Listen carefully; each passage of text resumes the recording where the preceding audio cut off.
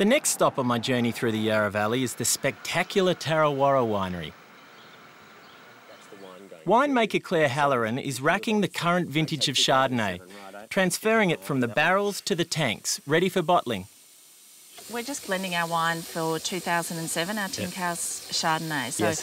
basically, all we're doing, we use gas pressure. Yep. Um, the air goes in Yep. and pushes the wine out. It's actually nitrogen that we use Up into the tanks. into the tanks. Yeah.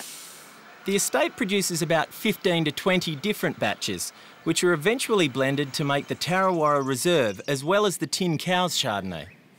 I'm starting to get nervous here, Claire. What's going to happen? How do you know when this is empty? It makes a sound so you can hear the last bit of the wine coming out Yeah, of the barrel. yeah, You ready? It's quite loud. Yeah. Oh my goodness. I've asked Claire to explain what's so special about the Yarra's other great varietal, Pinot Noir.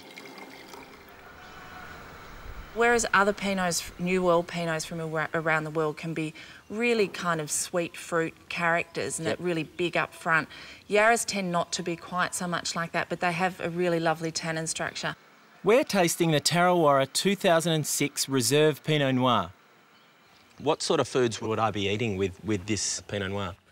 I mean, I actually really like it with things like roast chicken, Yes. or if you're doing, say, pasta dishes. And Pinot can handle a little, a little bit of spice as well. Yep.